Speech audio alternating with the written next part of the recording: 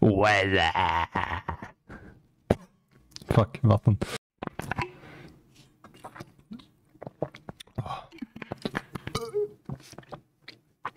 Weather.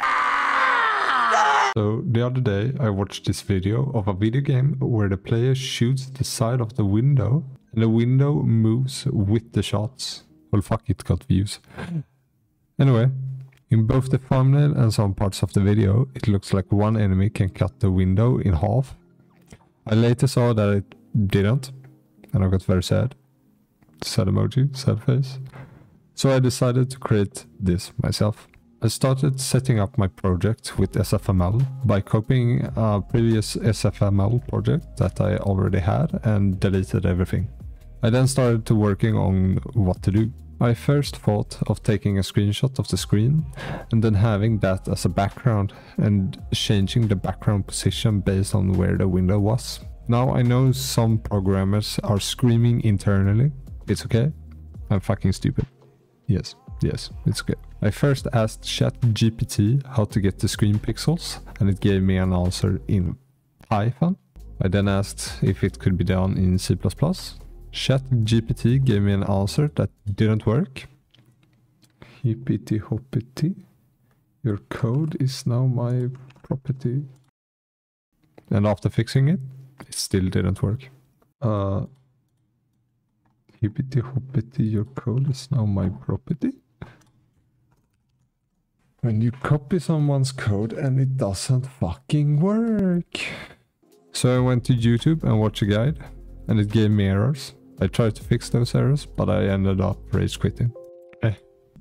I then came across this video by CodeMonkey In this video, we're going to learn how to make a transparent Unity app. and thought, wow, I'm fucking stupid. Because I didn't realize you could have a transparent window. I then took some time to check how to make a transparent window in OpenGL and voila, I got a transparent window. Hey, let's go. Let's fucking go. Woo! Now the question is how to draw something and make it invisible. I first thought I could draw something invisible on the screen and then make the depth buffer take care of the rest. But I quickly realized SFML doesn't use depth buffers. I then thought of doing a special deferred rendering. Deferred rendering draws the object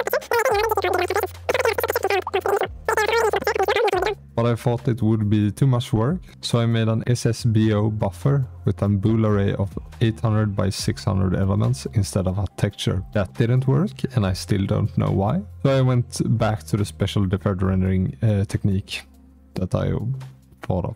So basically, I draw the invisible object to a texture, and when I draw everything else, I check if uh, the object collides, and if they do, we don't draw anything. So now you can see how it works. Look, I made it fucking work. Let's go. Like, whoa. Zoom, zoom.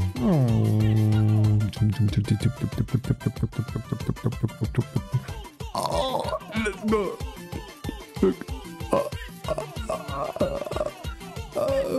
So what have we learned from this? SFML is a fucking SFML uses old versions of OpenGL, making some things harder to implement than if we just had uh, newer versions of OpenGL. Bye.